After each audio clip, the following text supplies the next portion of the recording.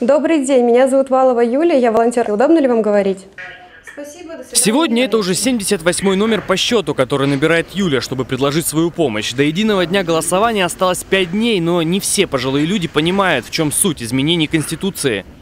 У нас вроде как 300 тысяч человек, которые надо обзвонить, а нам надо по возможности как бы обзвонить, проинформировать, спросить всех.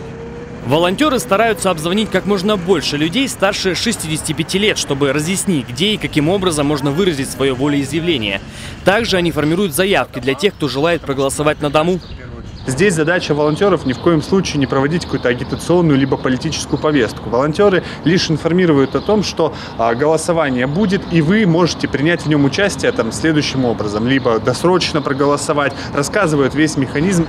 Помимо информирования по предстоящему голосованию, волонтеры могут наколоть дров пожилым землякам, закупить им продукты, оказать квалифицированную психологическую консультацию. Добровольцы уже помогли около 6 тысячам пенсионеров.